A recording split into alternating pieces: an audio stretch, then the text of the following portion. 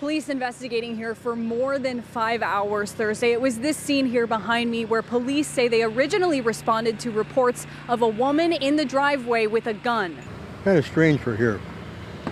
Biggest thing we got is people blowing stop signs.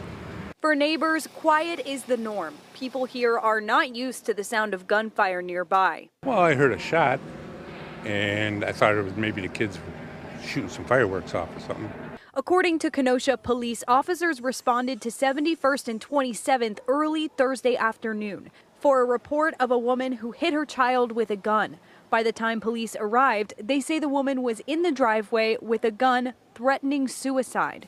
An initial statement from KPD says officers tried to de escalate the situation, but said the woman was, quote, not receptive and made, quote, numerous suicidal statements, including threats to make officers shoot her.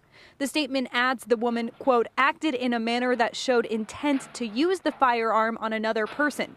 That's when an officer fired a single shot, hitting the woman. She's got a gunshot wound to her arm, applying a tourniquet now. She's expected to survive. I'm just glad that the lady's not dead. You know, seems like a nice lady. I've always said hello to her.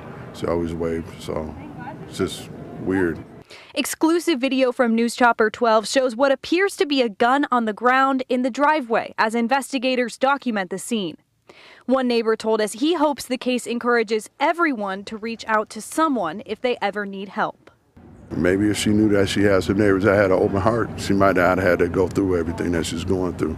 Officials say no one else was injured. In Kenosha, Emily Pofahl, WISN 12 News.